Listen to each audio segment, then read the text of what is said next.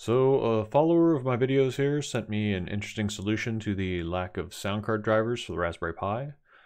This is also nice for those who aren't blessed by living down the road from a computer recycler who can supply them with cheap office dells. So hopefully this can give people some ideas to do some Plan 9 grid type stuff, but without needing several machines actually running Plan 9 or 9Front. So I'm on the Video Pi here, which is one of the Raspberry Pis on my grid. It's a Raspberry Pi 3B, and the video, the HDMI, is plugged into a little USB video input dongle, and it's plugged into a Linux box running OBS. That's how I capture these videos here. So I can go ahead and toggle on a terminal running on the Linux machine. And here I will run NC, which is netcat, which does kind of what it sounds like. It cats stuff off a network interface. And I'll give it the L flag to just listen, and P to specify a port. And so this is telling it to just listen for anything coming in on port 9090 and output it. But I'm going to pipe that into aplay, which is a command line uh, audio player. And I'll tell it T for raw, and F for CD, which is a little kind of a macro for 16-bit little endian stereo, which is the um, audio format that Plan 9 and 9Front use. So I'll hit enter, and we can see it's sitting here now playing data coming in from that port. And so that'll just wait there. On my 9Front terminal, I'm going to use srv to set up like a named pipe to that port on the Linux machine. So SR whoops, V, specify that'll be a TCP connection. I'll give it the address of that Linux machine and port 9090 and then give it a name. I'll give it L audio. And it says it posted it.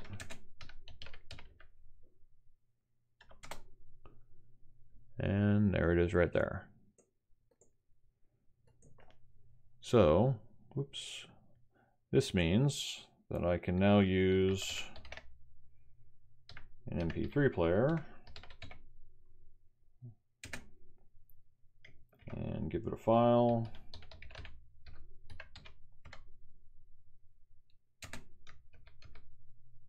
and send that to srv L audio.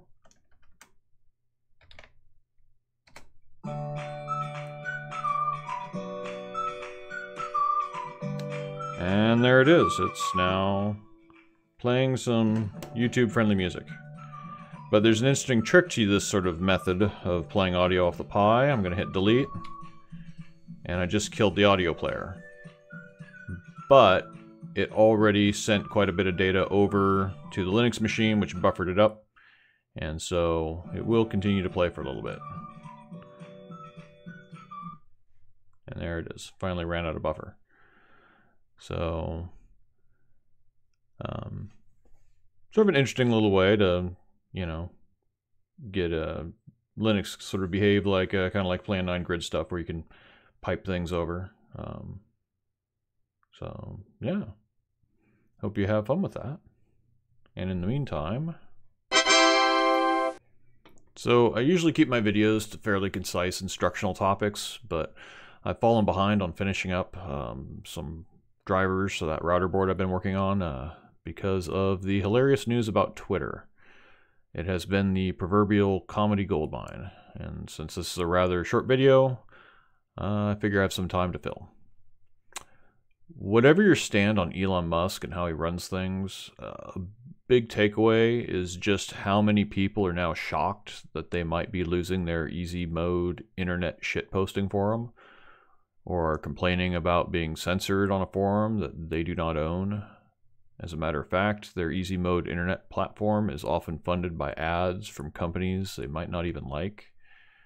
Uh, this is glaringly obvious with the people who hear about Mastodon as a alternative Twitter and quickly get stumped by trying to understand that they have to sign up to an individual server and they need to do some due diligence that it is hosted by someone competent. And someone like Donald Trump can just pay someone to fork Mastodon and run a server for them. The takeaway is Web 2.0 is about big, centralized, and algorithms designed to feed you ads. It, it was Web 1.0 that was actually had all the free speech because back then you had to set up your own server and then you and your friends could say whatever you want.